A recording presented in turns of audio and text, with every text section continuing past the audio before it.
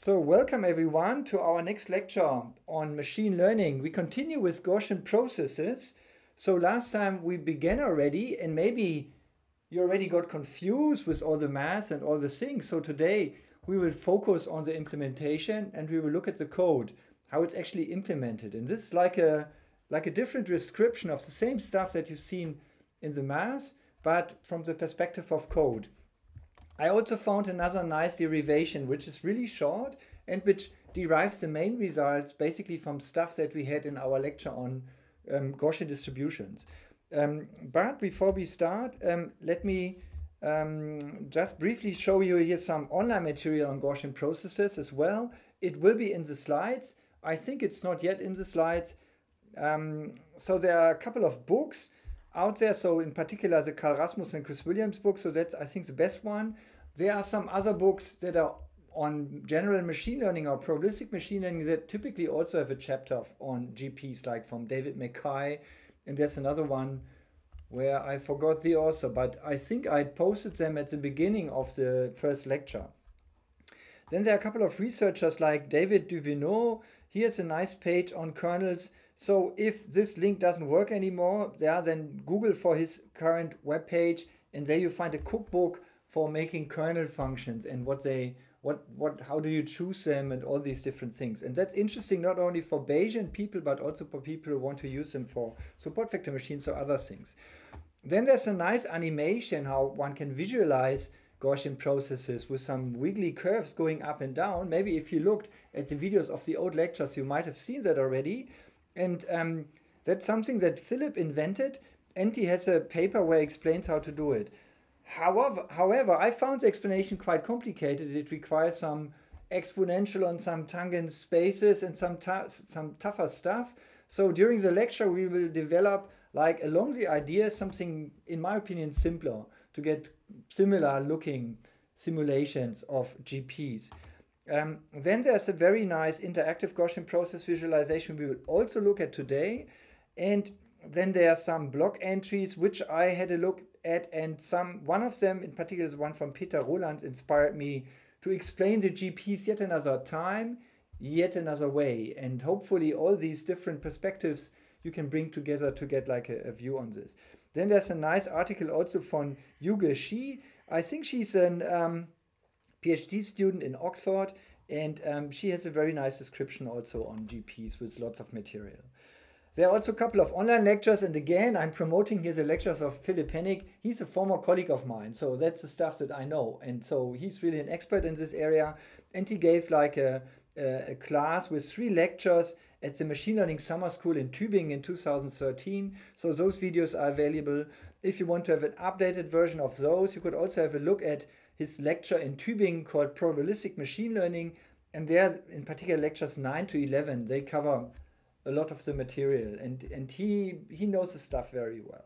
So basically, I took his slides and made new ones, but trying to understand and make sense of, out of his slides. So his work is the basis of my lecture here.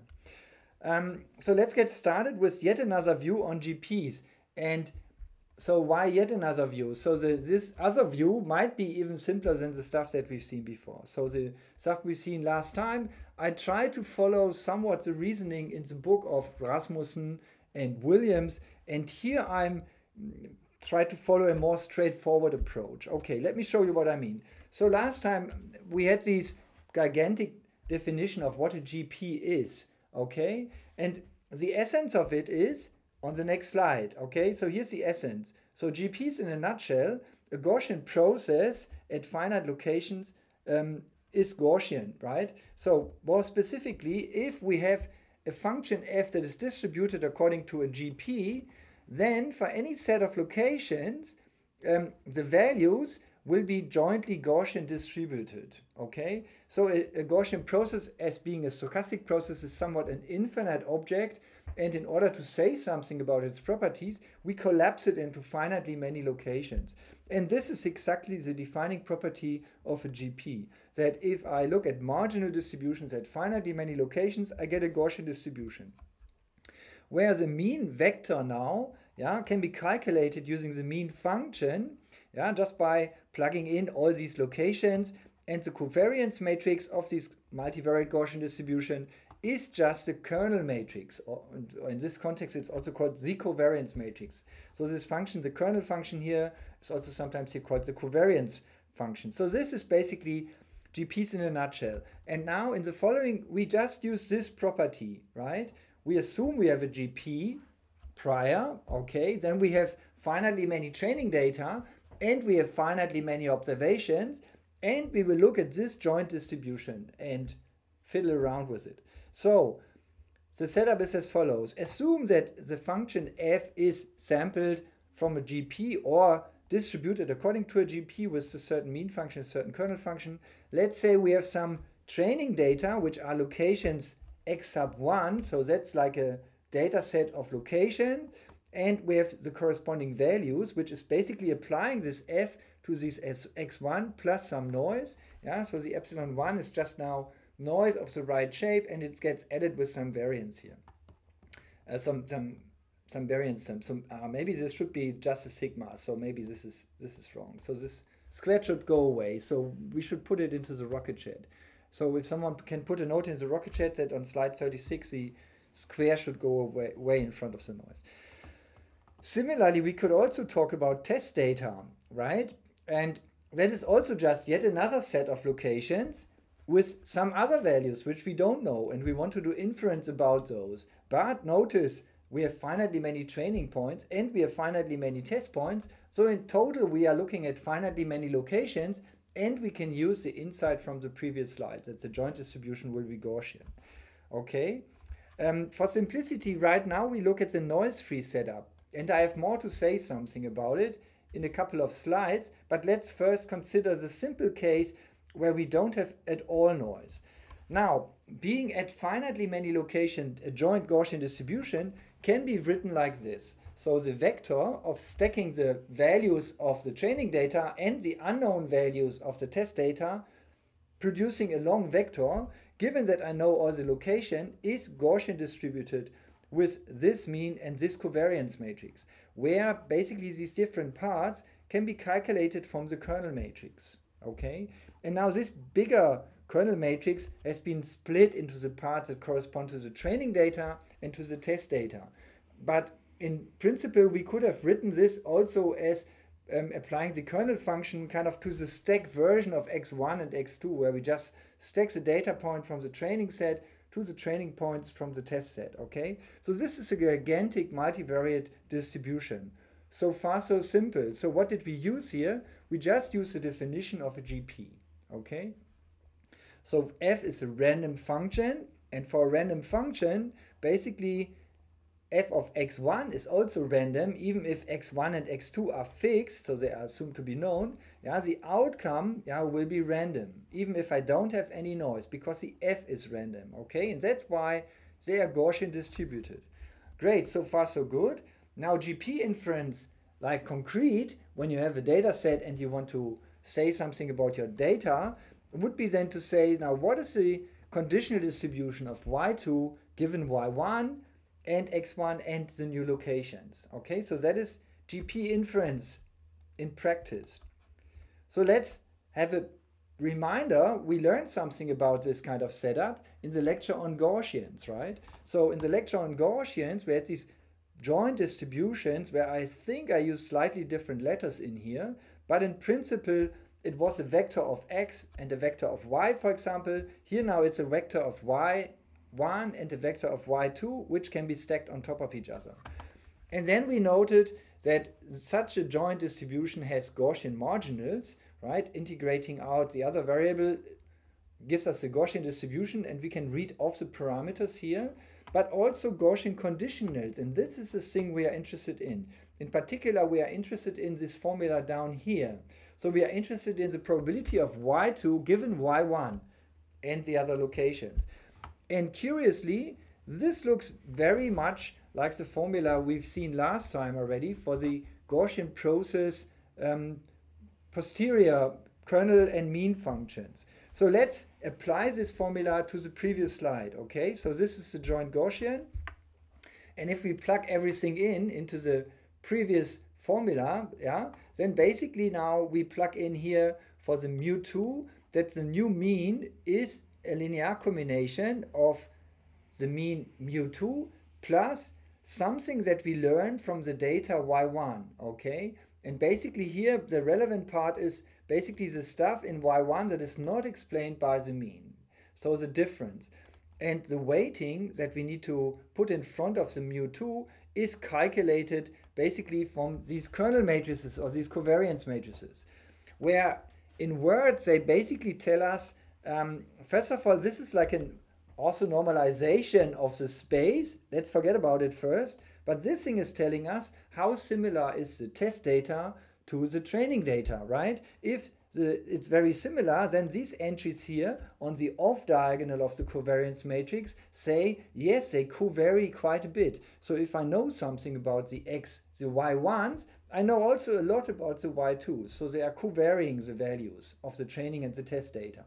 And how do we determine how they covary? By calculating basically some kernel function. So we can replace all these sigmas now with the other entries that we had before. And then basically we get exactly the same formulas as we've seen last time. However, there are some details here to discuss. Um, so that's why I'm saying we are matching almost the posterior mean and covariance function. But let's let me point out what the almost is. So the almost is this red part over here. So here's a plus sigma square, which is not over here. But as I said, the sigma was assumed to be zero, right? So we were considering the noise-free case. And so for the noise-free case, this term doesn't exist. Yeah, and the terms are really exactly one-to-one. -one. So let's first understand. So what is this? This is a function of x and for this x now, we can plug in the x2. And if we do that, then the right-hand side expression will be exactly this expression over here. Similarly, um, if we plug in x2 and x2 into this covariance function here, yeah, then this expression will be exactly that expression. Okay, so this is, I think, my new favorite view of GPs because it's so simple, right? Let me go back. What did we do? we started with the GPs in a nutshell that by collapsing onto finitely many locations, we have a Gaussian distribution, okay? And then we said, okay, let's take a finite training data set and a finite test data set, stack them on top of each other. Then we have a joint Gaussian distribution since we have a GP. Then just let's use our inference formulas for the conditional Gaussians, okay? And plug everything in and rewrite everything and then we get basically already the formulas from which we can read off the posterior mean and covariance functions. Okay, so far so good. So I think this is really a very simple way to derive back like this result. In particular, I'm a bit struggling with these things because when you look in most of the books, typically assume they assume that the mean function is equal to zero, and then certain terms they don't appear here. However, being Bayesian now, I would like to have a setting where I might start with a zero mean function, but then I observe a couple of data points, and these couple of data points now change my mean function, and then I observe further data points, and they shouldn't take the zero mean function as a starting point, but the previous posterior mean function as a starting point. So if you really want to implement like a multi-step GP procedure where you first have one data point and then you have yet another data point and another one and another one, then you really need these formulas. And they are quite hard to find, okay? So if you find a reference for this formula, please tell me, I can put them then in the slides. But they kind of, I've, I found it quite hard. So typically in the books, they trying to do it in a, uh, getting rid of the mean and just saying the mean is zero, and we do it once anyway, so we don't care. Okay, so now let's talk about the noise. So what about the noise? So there's some subtlety here. Now when you look at the books and they go to the noisy case, they sometimes say, okay, the joint distribution now looks like this. So I'm adding some noise here, yeah, for the sigma 1, 1, but I don't do it down here. And I also don't do it on the off-diagonal term. Okay, the off-diagonal term is easy to understand why we don't add the diagonal because basically the sigma squared i should only be added to the diagonal of the covariance matrix, right? Or with other words, the noise of the measurements of the training data is independent of the noise of the measurements of the test data. Yeah, and since the, the noise is assumed to be mean zero, it won't appear outside here on the off-diagonal terms. However, what about this one down here? So that's a bit more subtle. But let's first let's postpone this. So let's first look at these equations now. So if I write down now with measurement noise in my training set, then I'm getting exactly the expressions that I would expect. So this sigma squared i is only appearing where there was a sigma 1 1 and those are exactly the locations where we were also previously putting the plus sigma square i. Okay, so if I'm assuming measurement noise on the training set, but I don't care for noise in the test set, yeah, then those are exactly the equations. So, but still it's a bit um, puzzling that there's no sigma 2 2 noise here, okay? So what about that one? So what if we put it in here as well? Then how, how would it change? It would change the first term here, the sigma 2 2 will get an additional term over here, okay? And similarly, uh, okay, that's basically the kernel function down here. And that's all that changes. So the mean um, of this thing does not change, but only the variance will change by this sigma square i. Okay, so that's the only change here. Now, what is the interpretation of this? So somehow we were a bit sloppy with notation here, but I was it on purpose because I wanted to keep it as simple as possible. So here's y1 and y2, but y1 and y2, let's see how they were defined. So they were defined to be the function value plus some noise and the function value plus some noise. So it would have been more precise not always to talk about the joint distribution of y1 and y2, but sometimes of y1 and sometimes of f of x2, right? If I want to be, if I'm interested in the Gaussian that explains me the uncertainty in the model, in the GP, right? Then basically I should have written an f of x2 down here. So let's do that. Let's write it out for the more general case. Um, then there are basically four situations. So I could have noise-free measurements, yeah, and I'm interested in the true functional value of my test data, then actually I should have written up here not y1 and y2, but f of x1 and f of x2. And in that case, I don't have to put the plus sigma over here.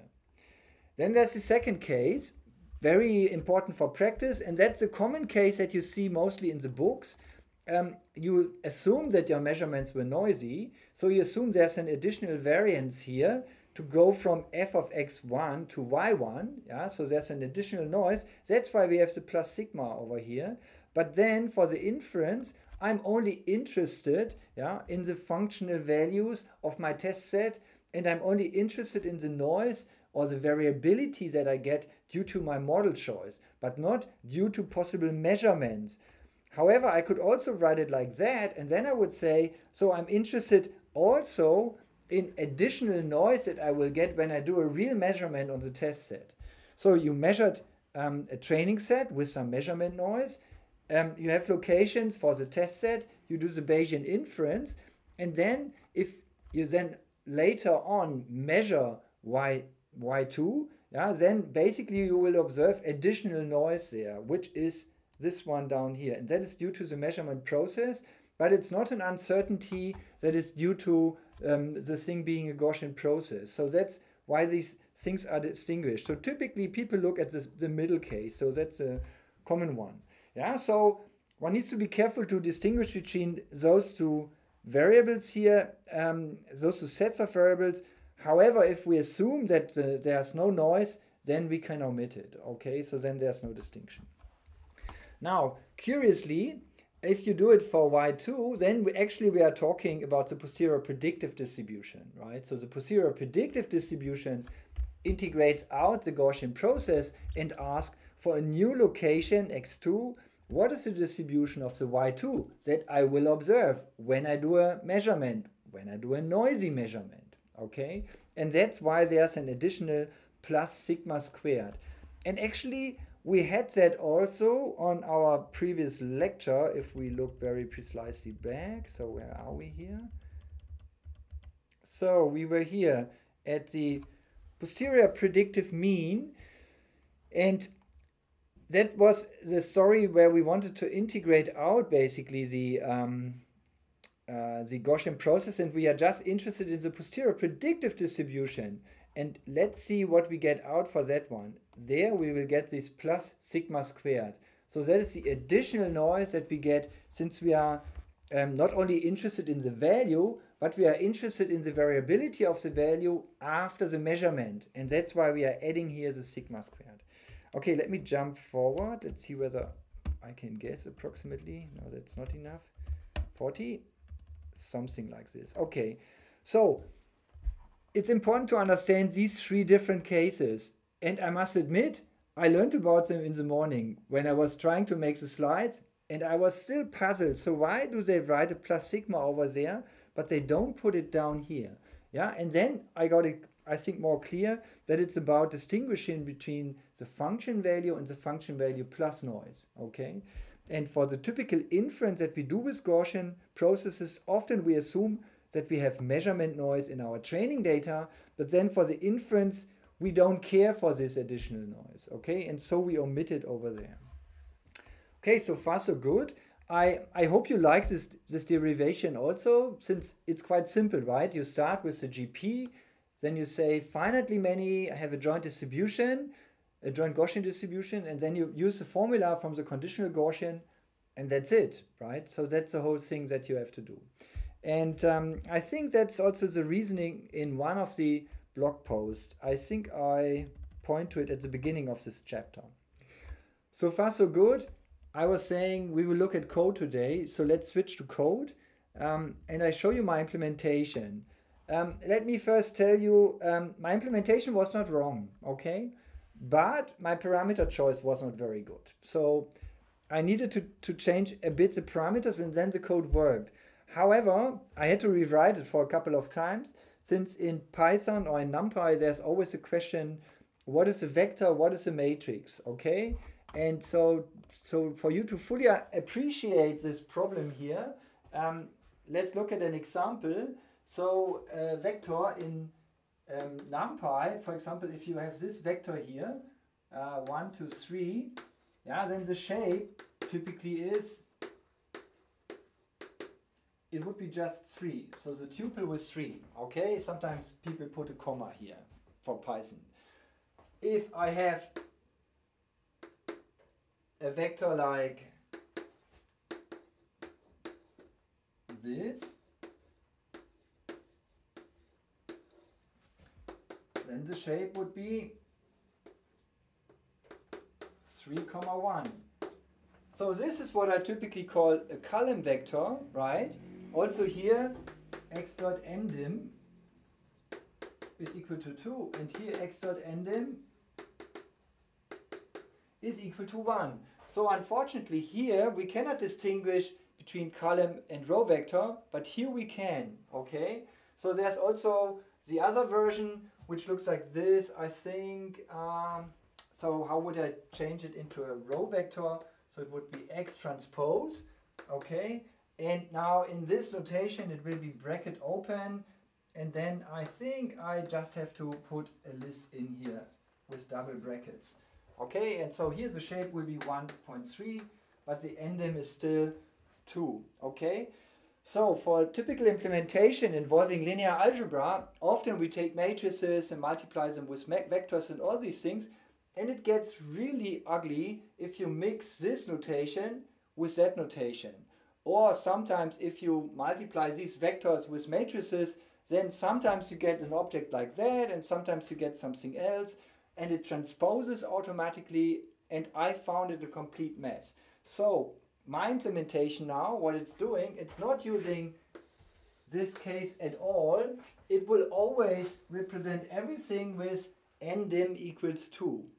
Okay, so that's basically there's a whole data type for this. So in, in NumPy, there's the array,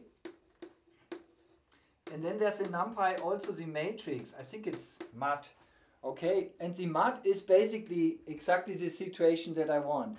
However, when you look at the web pages, the SciPy people and NumPy people say that the mat um, is deprecated sooner or later. So that's something one should use. So one should use the array. However, I want to use it in such a way that the ndim is always equals to 2.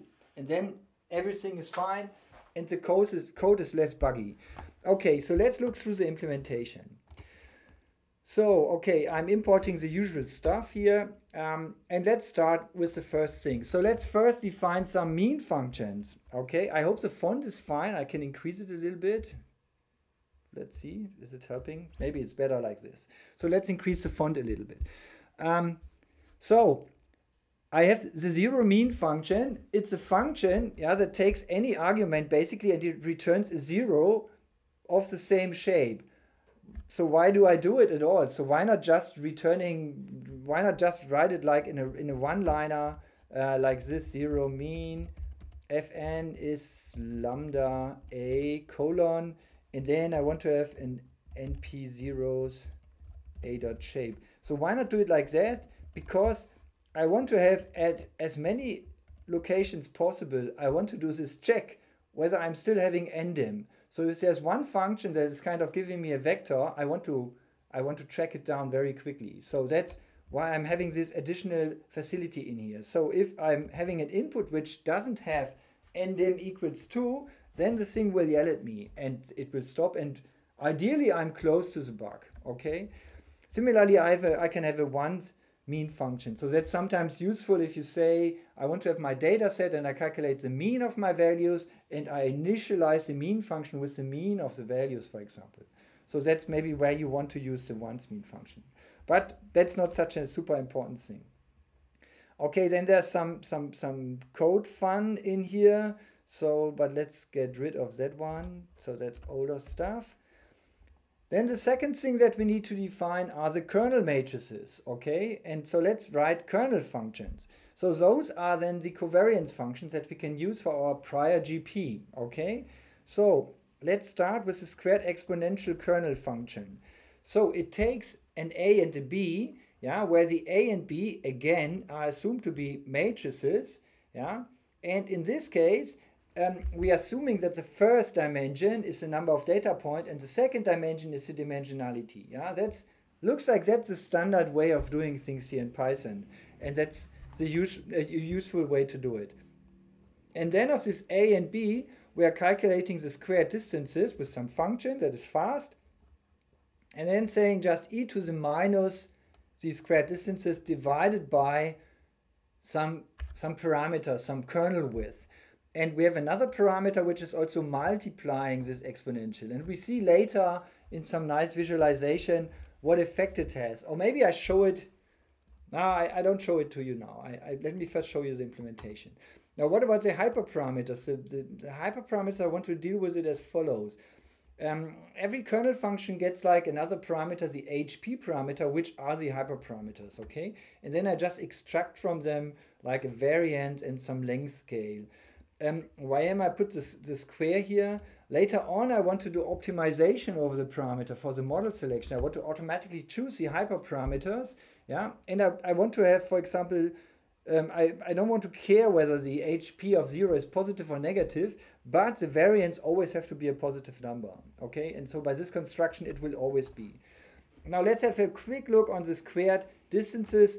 Again, I'm now a, a bit like here. Um, uh, a coward here and asking every question, uh, every function should ask this question whether I'm still fine. And the reason that I have it in here is because I had hours of fun dealing with these stupid dimensionalities in Python. Okay, and that's why they are here now. So they are time savers. Okay, so basically I'm here dot multiplying the data matrix which itself and summing over the first axis. And then comes the important parameter keep dims equals true. Okay, so what this keep dims equals true does, it avoids turning the whole thing into a vector. So if you just do an A star uh, A star A and sum up over the first axis, the output will no longer be an n by 1 matrix or vector, but it will be an n vector, okay? And that then will mess up all the following computations. So this is very important. Here I can do just, it looks like the outer product, but since we swapped um, since we have the data points along the rows, those are the inner products between all vectors in A and B. Yeah, and then this is like a clever way to calculate the square distances that we've seen already a couple of times.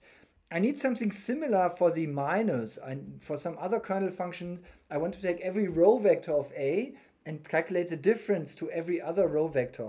However, I'm only doing it for one-dimensional data sets. So um, it's restricted to this situation where I'm saying now the dimensionality of my locations is one-dimensional.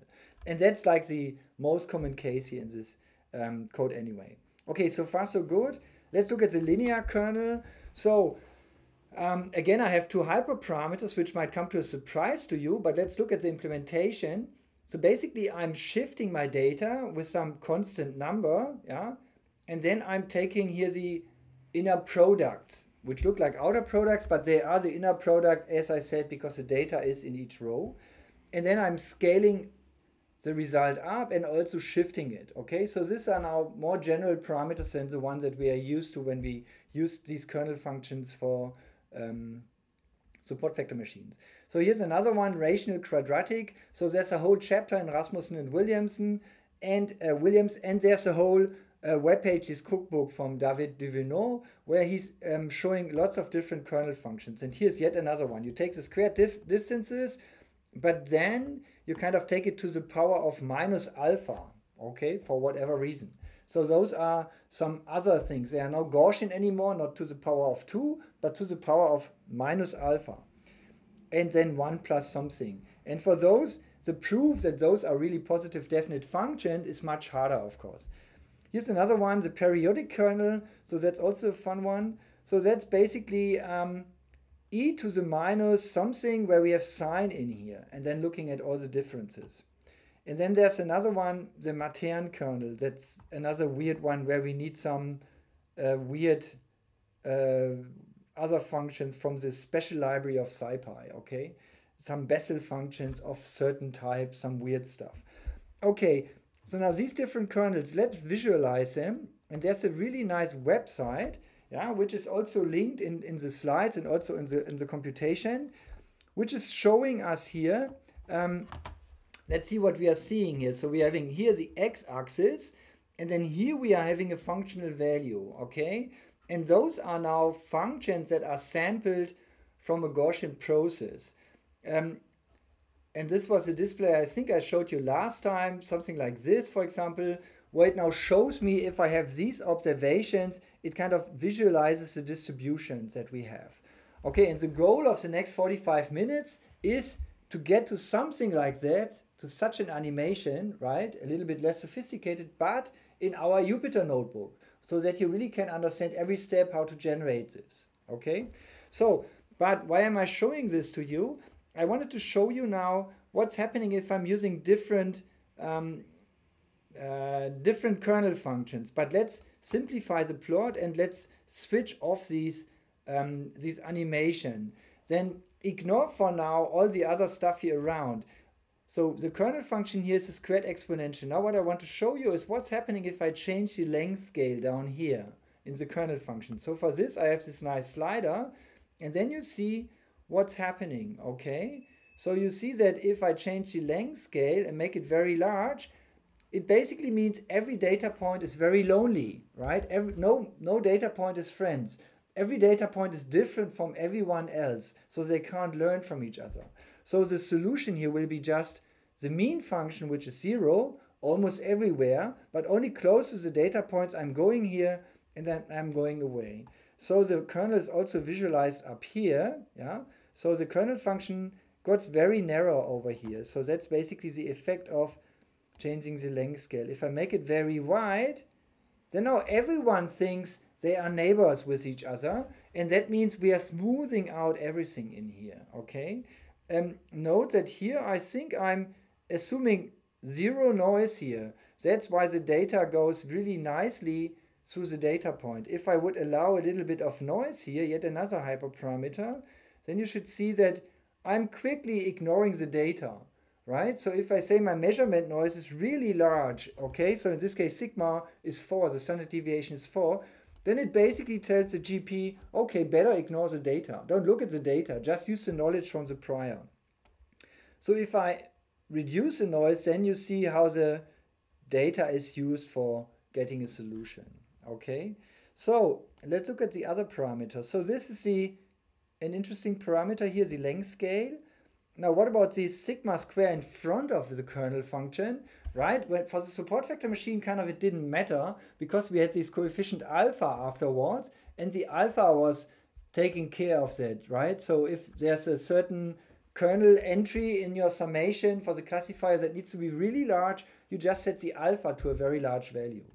Um, however, here, now we have a parameter and we can see what's happening. And as you can see, basically what's changing here is the variance of the whole thing. Okay, so that's what's going on. Um, okay, let's look at another kernel. Uh, we can look at this matern stuff. So the matern stuff, maybe right here, I don't know. Yeah, it has some other properties. Um, in particular, what you see here, um, this still looks like um, like a balloon type of thing. But when you look here, the derivative of this point yeah, at this point it's not derivable anymore. So there's really a peak and then it goes down again. But that's what sometimes happen in data, right? Suppose this is like the, the, the, the exchange rate for the euro or something. Yeah, then at some point there's an event and then the whole thing drops and it's not going nice and smoothly. So the squared exponential kernel, yeah, that one tries to make like a nice smooth curve everywhere that is everywhere differentiable. However, the Matern kernel, yeah it's also able to do to do something sharper okay? So depends on your data what you want to use. Um, then there's another fun one the okay the linear one you know right? So that's just a straight line okay? So let's see what the parameters are doing. Um, the parameters here are doing almost nothing interesting but the bias is doing something okay interesting yeah but i'm the, i find that one a bit confusing with all these parameters let's look at the periodic one okay curious so the periodic kernel leads to periodic functions. Yeah, in particular, that means that this point over here is not only giving us information right here in its neighborhood, but it's also giving us information over there. And it's giving us information over there. So the periodic kernel is interesting for data sets where you know there's some periodicity happening. For example, the CO2 data set from these Hawaiian Mauna Loa Lua thing. So there basically we know that all the Januaries, they are correlated with each other, right? So if I observe one January over, over here, then the January in one year will have a similar temperature and so will be the next January and so on. So that's where the periodicity kind of makes sense. So also here we can change the length scale where here the length scale is a bit weird to me, but there's also the peri periodicity. So that's the one that is kind of simpler. Is it simpler? It's also weird. Okay, let's first look at this length scale thing. And okay, the variance is a simple one. So that is just increasing the variance of the whole thing. But the length scale I find again a bit confusing. Oh yeah, that's the one where basically um, whether you look only at a certain location or whether you're look, looking in a wider area. Maybe um, this up here is showing us the kernel function at a certain location. Okay, this is going up and down, ignore the yellow stuff, only look at the red line. And the red line is basically telling us how, for a certain point, the other points are similar. And as you see, the points right here around x1, they are very similar to each other. And then when you have reached the period where you're in the same month, basically, you're also very similar. However, that is going negative, that's a bit weird in my opinion. Good, so that's the periodic kernel. Let's flip back to our code before we continue with that one. So now you see that these different kernels, they have different properties. Like the periodic kernel might be good to model something that has some periodicity in here. The Matern kernel is good for modeling something that has some abrupt changes. Um, not today, but next next time, next week on Monday, we will look at these Mauna Loa data and look at these kernel choices that they did there and try to understand um, how they did it. Okay, so far so good. So those are the kernel functions. So here I have some some test data that kind of is running some stuff, but that is not relevant to us right now. Um, maybe one thing you can always visualize the squared exponential kernel very easily. So suppose um, you are having um, a lin space from 0 to 10. So the data set is basically a long vector of real numbers from 0 to 10. So those are your locations. And I'm doing here the reshape because of my NDIM obsession here, that everything should be two-dimensional. And then I can calculate the squared exponential kernel for this data set with certain parameters, and I can look at it, okay? So maybe I, I need to make the, this old thing smaller so that we can get it on the screen. And then what you're seeing here is, ah, that's too small. Okay, maybe that's good. Um, that along the diagonal points are very similar to each other, and they are similar to its to its neighbors, but not so similar to far away points. So here we get small numbers. So this is like zero something, and this is like close to one. And this is because the data set is sorted, right? It's sorted from zero to 10. And that's why we're getting this shape. In particular now, when we change here a parameter, for example, Z1, then we will see, um, well, in this case, we didn't see, oh yeah, in this, the first parameter is changing um, the outer scaling. So before we had a 1 over here in the legend, and now we have a 4. Okay, so basically the thing went up, but the image didn't change. If I change this number here, the whole thing should get wider. Okay, now my thing got wider, my Gaussian is wider, and I'm friend with more among me. Okay, so this is good to, for visualization. Okay, let's get the data. And so here's some data that I load from some CSV file. So it looks like this. I'm having these three points, the one that I just also put into the website. Okay, those are my three points. And um, again, I need to ensure that they have the right shape. So that's the annoying thing.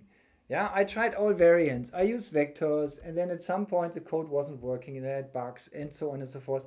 And that was the one that I could get to work, where ndim is equal to 2. The other thing I'm doing here in this data set thing, I'm setting a prior mean function and I'm setting a prior covariance function. And here I'm just taking the squared exponential. I also set some hyperparameters here. And last time, I think, we had here a 1.0, and that was the overall scaling of the Gaussian and it was just too small to fit the data which has like plus 14 as a value. So I needed to put something larger in here. Okay, so that is this data set. There's a more complete one, which I show you an image of. So that is a more complete data set. You see much more structure, also some periodicity going up and down. And then, of course, later on we will see next time maybe we see that we can try to model it with a combination of kernels right so we have a kernel a linear kernel which should capture the linear trend yeah so the parameters of the linear kernel will tell me the slope maybe with which it is rising and then there's a periodic kernel for this up and down movement there okay and then there's a squared exponential kernel for the garbage yeah for the noisy or so the weird stuff that's happening there so you could think of these three kernel functions as there's a straight line and you add to that some sinusoid, so it's going upwards, and then there's also some wiggliness that explains the rest. So that's how these things are designed. But we will look at it next time. Um, notice from the implementation now our vector of hyperparameters got really long, yeah, and we kind of cleverly chopping out the pieces for the different kernels. Okay, so that's very useful.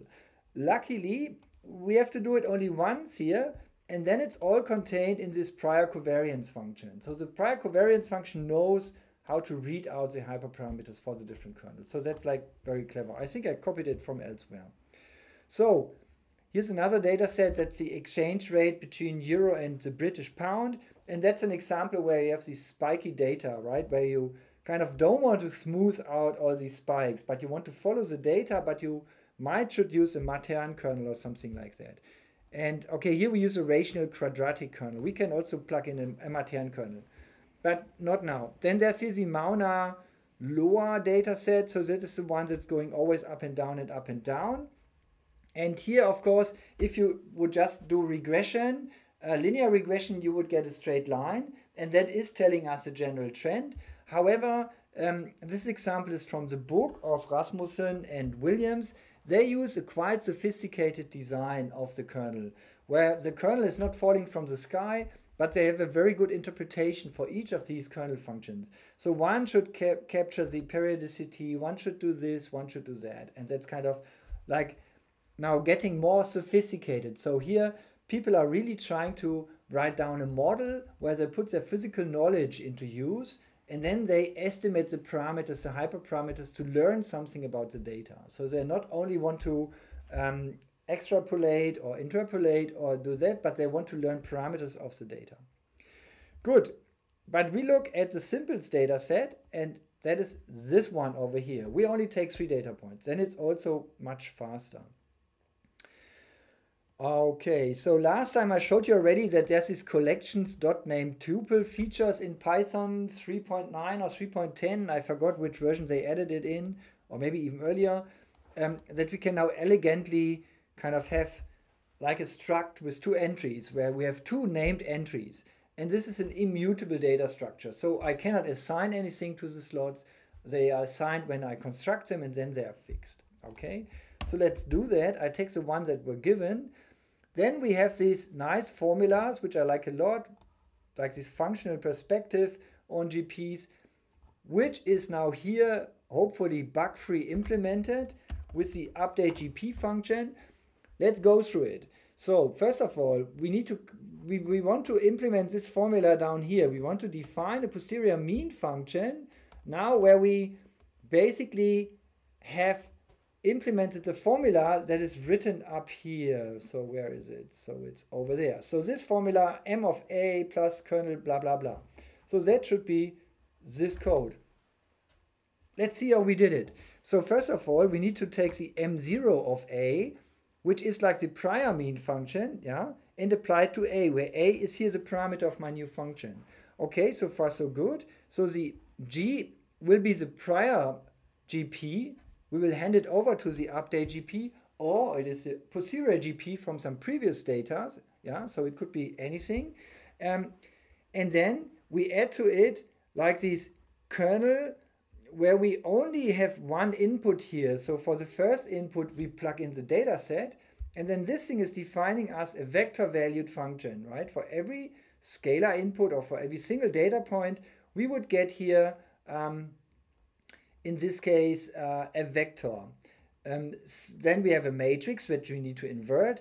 And finally, we have the difference between the observations of my training set minus the one that we would expect from the mean function, which is most often zero.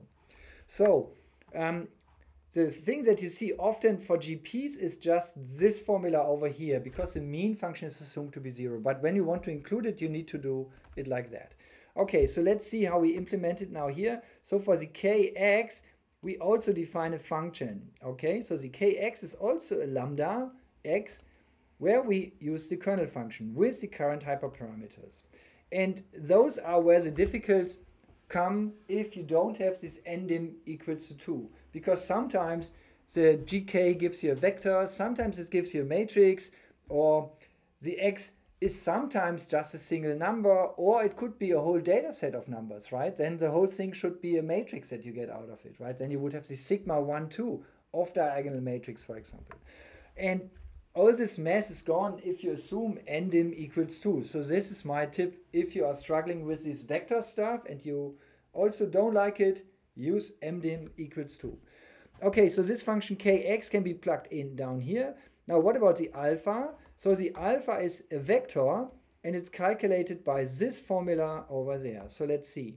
So first of all, the matrix that needs to be inverted, it is the matrix Z. It is the kernel matrix, so the kxx, which just is calculated from my prior covariance function, plus sigma squared and identity matrix.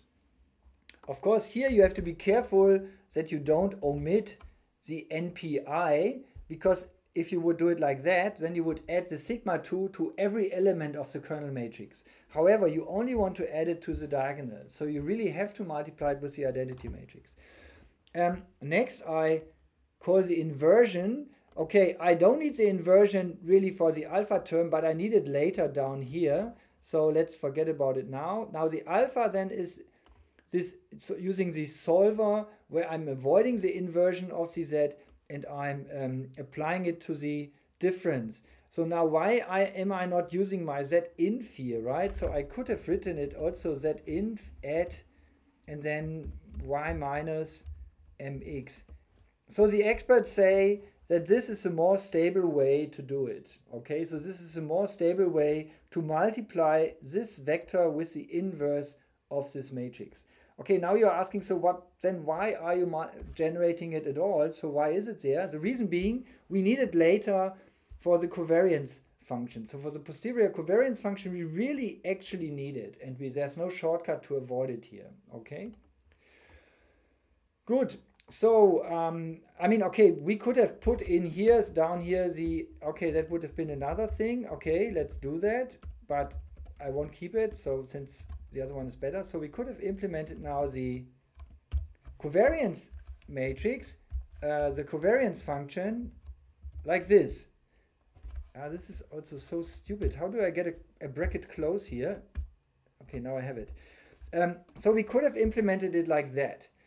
However, this posterior covariance function will be called very, very often.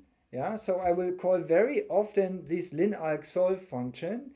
And since I'm having lots of kx of b, it's cheaper to calculate the inverse once and for all.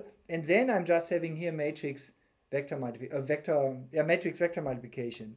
So if I would call the posterior covariance function only once, that would be the implementation. However, I'm calling it very often, then it's better to pre-calculate um, this matrix and just connect them like that. Okay, so that is the idea of um, the implementation here. Any questions, by the way, along the way?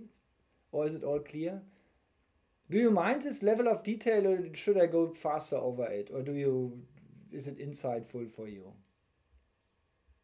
You can also put it into the chat.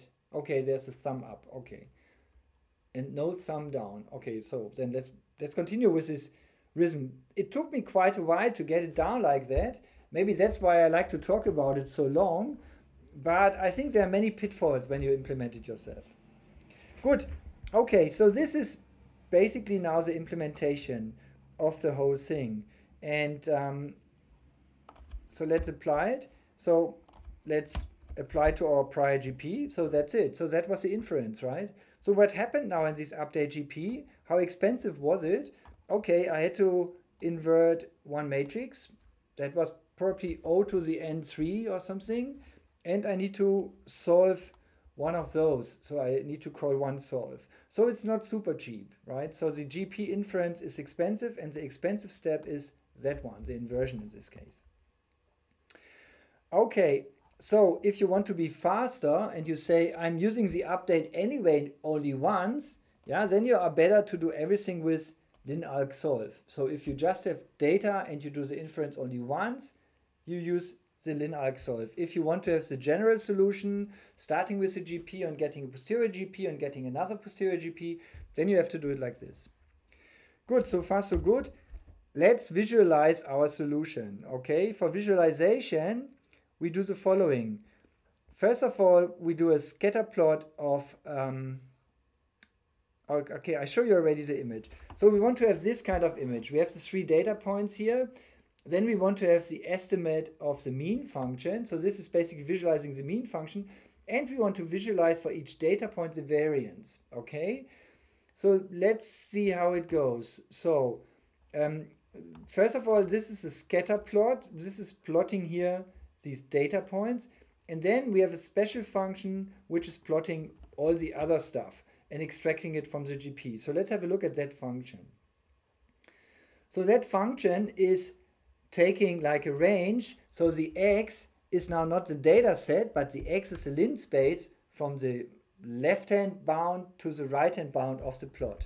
Yeah, so it's basically an x range which we define ourselves.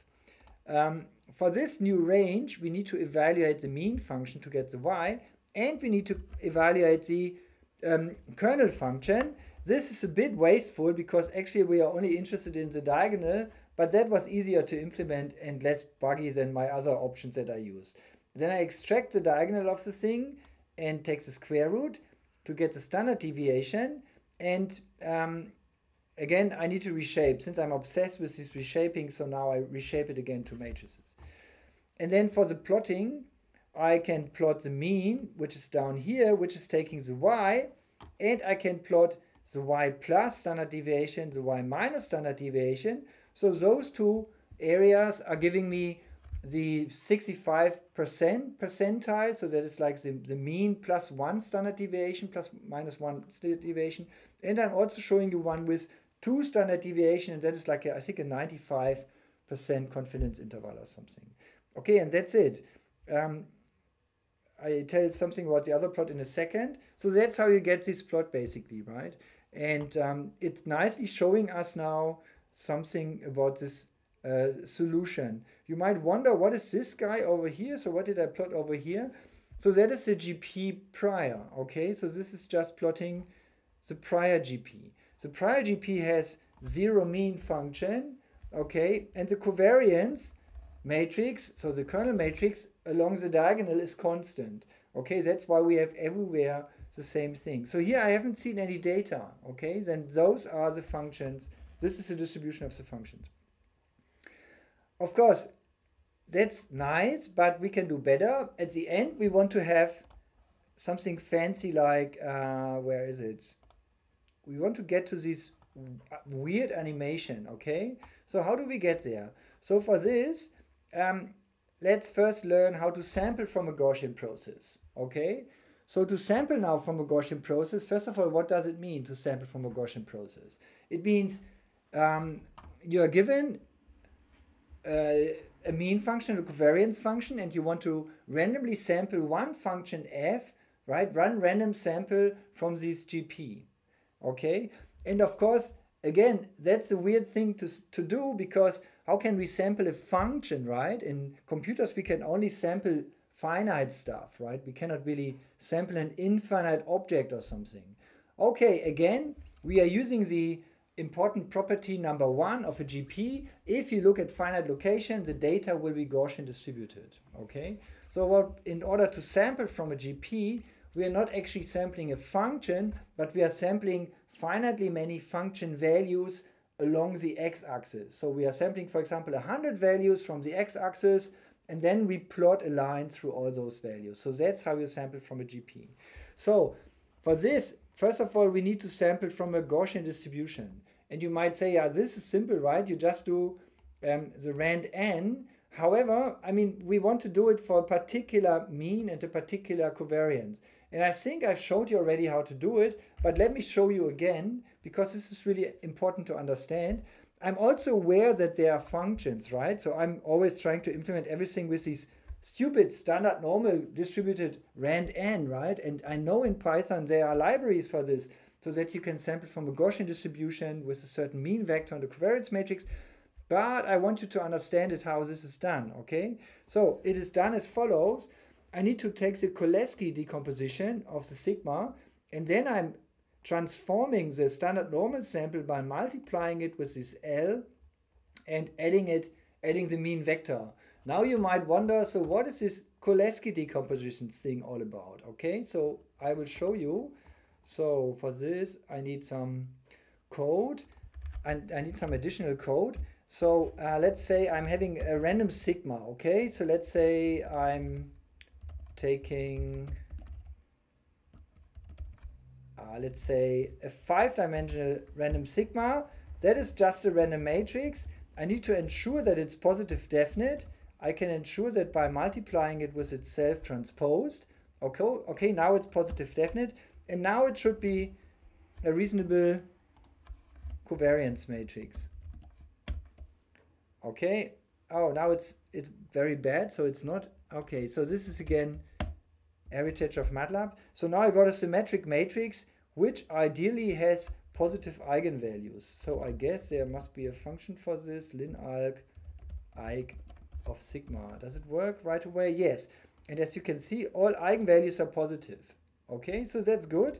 So now, typically what we do when we scale standard normal things, we multiply with the standard deviation, which is the square root of the variance, right? So we need to multiply by sigma.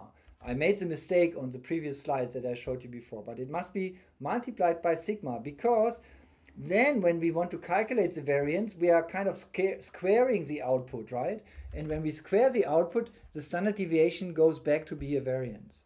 So similarly here, we need to multiply with the square root of the covariance matrix. And that's something where you know already positive number don't only have one square root, but the square root of 25 is 5, but also minus 5. Okay, so in the matrix world, square roots are exploding. So there are many, many possible square roots for a matrix. So now what do I mean by a square root of a matrix? I think I told you already, but for um, it's very, very quick. So let me repeat it. So a square root of a matrix basically is a matrix. If you multiply it with itself transpose, it should be that matrix. Okay, so that is the square root. And now the Cholesky decomposition is giving you just one of these. Okay, so the Cholesky decomposition is giving you for a positive definite matrix, it's giving you a square root. And it's a particular efficient method to do so. Good. Of course, when you implement something like this, yeah, you shouldn't now just say, okay, L is NP linalg Cholesky of sigma, and then you multiply it with the random thing. You need to check that you're doing the right thing, right? So let's check whether we are doing the right thing. So let's output the sigma, print sigma, and let's output the L dot transpose. And they should be the same. Okay, I already did a too big example here, so let's take a 3 by 3 matrix. Okay, and they are exactly the same. They don't have to be like that. It could have been the other way around, right? It, it could have been the other way around, but that would have been the wrong, wrong case. So you need to be sure that you know what your library gives you. And um, guess what? Some libraries, some, some Cholesky libraries give you an R, the letter R, okay? Where the R is not the lower triangular matrix, but an upper, right upper triangular matrix. And so it might have different properties. So it's always important to check that. Then the next thing that you need to check is if, let's say I'm doing it like that now that I'm saying L at, and then I'm saying np random, randn 3 by 1 or 3 by 100 or 1000. So I'm looking for 1000 three-dimensional vectors which are now turned into a certain covariance shape. And the question is, do I have to do it with L or with L transpose? Okay, this is something that you need to check. And the way to check it is to calculate the covariance matrix. And surprise, I'm getting a name error. Okay, it's not existing. np dot, maybe like this. So if I calculate now the sample covariance matrix of my sample data, I get a matrix which is exactly my sigma. Okay, so when you implement code, always check both cases. And in this case, you get something wrong. Okay, so so this is the right implementation. So this implementation is fine. Okay, now that was a long, long talk about a random Gaussian distribution. Now what do we plug in for the mean and for the variance? What we plug in is we calculate for locations along the x-axis, we calculate the mean function and we plug this vector in. Okay, so if we have 100 locations, we are talking here about little d being 100 and we plug in the kernel matrix here for the covariant thing. And then we can just sample from a Gaussian distribution and that gives us a sample from a GP. So I'm calculating a mean by evaluating the mean function and I'm calculating a sigma by evaluating the kernel function.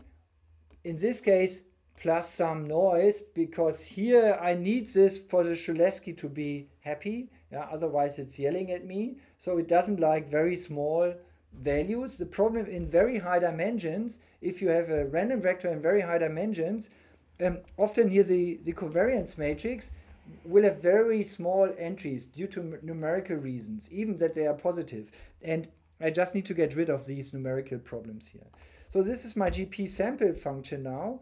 And um, how do I plot them? Okay, I can draw n samples, yeah, and I just plot all of those into my nice existing plot. So let's do that.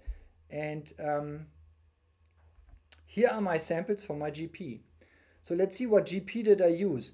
In this case, I used the prior GP. Okay, so those are all samples now from my prior GP and I can repeat it and I'm getting more and more samples. So those are random samples from my GP if I haven't seen any data.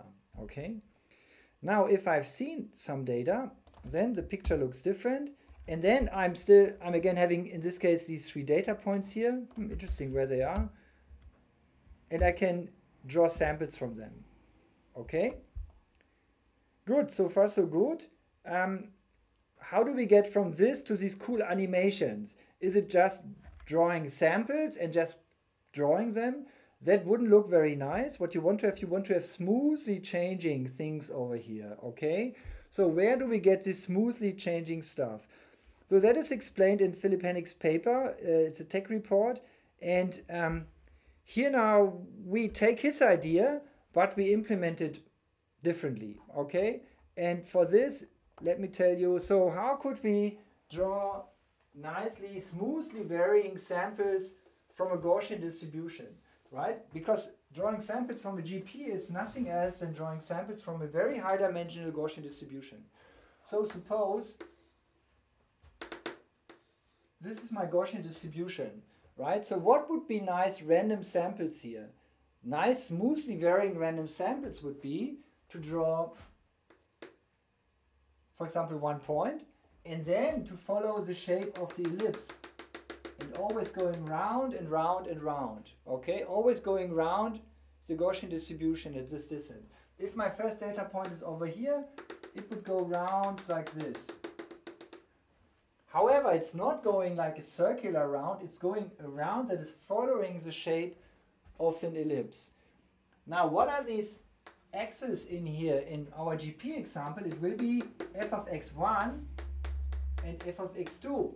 And those are two points which are kind of correlated with each other, right? So actually we are here in a very high dimensional space, let's say a 100 dimensional Gaussian distribution with a certain covariance matrix, which is exactly the kernel matrix. And from that one, we want to sample basically like circles that go around the center. Okay, so that's it.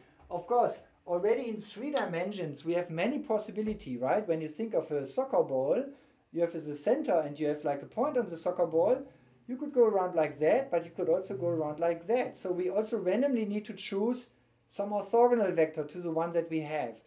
And that is the approach in the paper that you randomly sample one point and then an orthogonal vector to that one. So you need to orthogonalize some other random sample. And then you use some matrix exponential, some exponential map from differential geometry or something, which I wasn't able to understand. And so here's a simpler version, which just takes this circle idea. So let's first learn how to sample a circle around, uh, like a, how to get the points around a circle. So let's do it step by step. Um, okay, so here we go.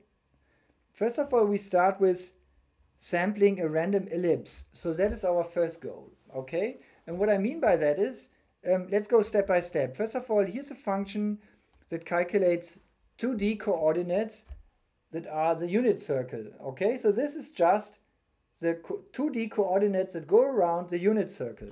Okay, so it's really just generating the space from 0 to 2 pi. Okay, from 0 to 2 pi. I want to have n steps around the unit circle and then I plug it into the cosine and the sine function. Okay, and the result will be a 2 by n matrix. In this case, every column is a point in the 2D plane and I'm going in circles. Now I'm taking this circle that is on a piece of paper and I rotate it into 3D, okay? And by this, I'm having a random circle on the sphere. Or I can rotate it into 100 dimensions. Then I have a random circle in 100D. So how do I how do I project a two-dimensional space into 100 dimensions? I need to randomly sample two orthogonal vectors in 100 dimensions and then project the data onto it okay, which is just a matrix vector multiplication. So let's first generate a random rotation matrix. How do we get that one? So here's another trick. You just generate a random matrix and you look at the SVD and you know the SVD of these matrices. They give you like these orthonormal systems. And we just take the orthonormal system that is mapping the two-dimensional space into the higher dimensional space. And since we're starting with something completely random here, we will get two very random directions into the high dimensional space. So now in order to get a random circle that is in higher dimensions in d dimensions, we just multiply our unit circle with our random rotation matrix. Okay, so far so good. We are still on the unit sphere in high dimensions. Let's multiply it with some random radius, okay? But the radius should follow the Gaussian distribution that we have. So what we're doing here, we just take a random d-dimensional vector and just calculating the distance to the origin to have like a properly sampled radius for a Gaussian distribution, okay? And that is multiplied now with this stuff over here. So this is giving us a random circle. Great, we are almost there. Next, we are still, we are using the same trick with the mu and the sigma to get a random ellipse. And so for the random ellipse, again, we're doing a Cholesky decomposition of the covariance matrix and we just multiply our random circle and shifting it by mu. So now this is a function that is generating us for a given mean vector and a given covariance matrix a random ellipse which is going around it. Okay? So the nice thing here is we don't care at the beginning for the mu and the sigma. We first start with a 2D circle, map it into higher dimensions, and then we transform it with our covariance matrix to get the thing that we want. And that's it. So now, as you know, every point in this 100 dimensional data space is like one possible function, but now we have a nice ellipse in this space, and by this we are getting like a nicely smoothly varying function.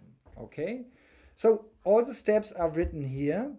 Um, now comes some again some plotly mumbo jumbo. So it looks like any any plotting library doesn't matter whether it's matplotlib or whether it's plotly. When you want to do animation, kind of the documentation is very, very sparse. And you basically need to interpolate what you want to do from examples, which is super hard. Um, so this is not ideal yet, but it looks okay. Okay. So here's some stuff that I copied from elsewhere, um, some from some tutorials. Basically, what you do is in the plotly thing, you have some some options that you can add the frames um, entry in the dictionary and you can list lots of frames in this dictionary that then get played after each other.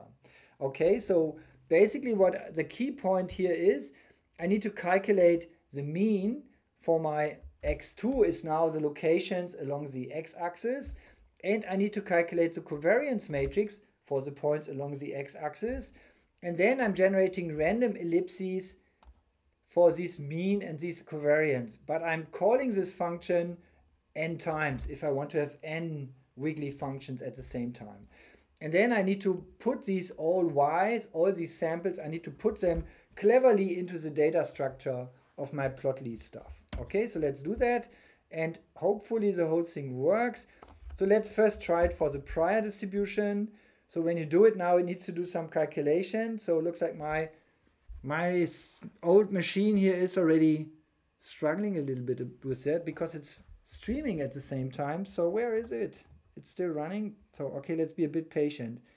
Oh, it should be there already. And it's not. So that's very bad. Oh, it's over here. Oh, I scrolled at the right, wrong location. Okay, I can put the play button and now you see what's going on. And you see these nice, nice things. So basically each of these lines is a single point on the ellipse. And when you go around the ellipse, the thing is nicely, smoothly varying. So why are those so nicely, smoothly things?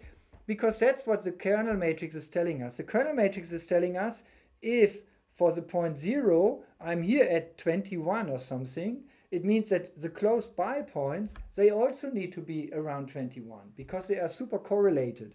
However, this point is not very much correlated with points at minus 5. That's why there something completely different can happen. Okay, let's do the same thing now for the posterior. And for the posterior, I get an error message. Great. So can I solve it? Uh, no, but this is this is a bit bad now. Okay, let me give it one try whether I can repair it by reloading the data. And if not, then we are just unlucky. Okay, let me reload the data and then we do it again. I try to make it robust. Okay, so that's it. So that's loading the data. Let's go down again to the animation, to the cool animation. Um, so there's an error message. Weird. Plot GP animation, so that one. And it looks like it worked. Okay, very good. No, it didn't. It's still running. Oh, there, there we go. It's coming. Okay, so it worked. Nice. And I can hit the play button. And then now it shows you the animation. So what you note here is that at this location, there's almost no variance because we observed the data point, right? So all functions are going through this point. All functions are going to this point, and in between, there's not so much possibility here, right? But here we have quite a bit of variability, okay? So that is um, basically the thing how to visualize this stuff. And maybe now after seeing that one, uh, you can appreciate this really nice code from uh, these people over here, where they, um, uh, let me change the length scale. Yeah, where they put everything into JavaScript maybe before we stop for today, um, let me just show you. So up here, basically, these numbers, yeah, they correspond to the entries in the covariance matrix. Okay, so that one is a red value. Um, I uh, okay, I'm a bit confused by it because some of the values can also be negative. But so basically, I think this point here corresponds now to the 063. So I can't, so the 083. So that is that point over here. And so you see how the covariance matrix is changing and how these two points are correlated or not. So if they're far away, they are not correlated. If they're close by, they are correlated. And this correlation can be also nicely seen in this plot, where for these two locations that I show you here, yeah, you see basically a slice through this 100 dimensional space. And so if I'm getting very close, the Gaussian at the bottom right corner um, gets um, like very concentrated. And when I'm moving far further away, the Gaussian gets larger and larger. Okay, so the plot here on this side is ba basically telling us a two-dimensional slice, the one that I drawn here, of this 100-dimensional space where the Gaussian is, and you see also how the curves are going around. However, they are using here different techniques, so they either use the interpolated random sampling thing, Oh, they can also use great circles. So I guess that is then the implementation that we choose. Okay. And you might notice that this is going on ellipsis here. That is because here we are in a projection. I think that's the reason. Otherwise, it's kind of weird. But maybe they also use some other some other tricks here. So maybe one should look at the open source code. Um, of course, we could increase the number and making it more fancy it's quite performant, so I'm really surprised how well it works. And it's good for playing around and to get like an idea what these different parameters mean, okay? Good, so far so good. Um, let's see, what are we doing next time? So that was the implementation stuff. So next time, we want to find the hyperparameters. So we want to do model selection. So, so far the hyperparameters like the length scale, they all fall from the sky. And typically now you would say, okay, we get them by cross-validation, right? So you take the training set, you split it into test, uh, training, and validation, and then you fiddle around with it on the validation set. And here we are now Bayesian, and we're doing Bayesian parameter selection. And in the Bayesian model selection, we can use all the training data to find the hyperparameters and doing something else. And basically, it's the same stuff that I explained to you already um, Previously, when we talked about model selection for regression, I forgot which lecture it was, but it was a lecture in last year sometime. Okay, and next time we go through the relevant details of that lecture again, and I will show you how to do it now then for the GPs. And ideally, also my computer is fast enough to show you some examples that it works. And ideally, we can look at the Mauna, Kua data and see um, the reasoning between the different for the different choices why having such a complicated kernel is a good idea. Great. So for today, I thank you for your attention and I see you then next week on Monday. Bye bye.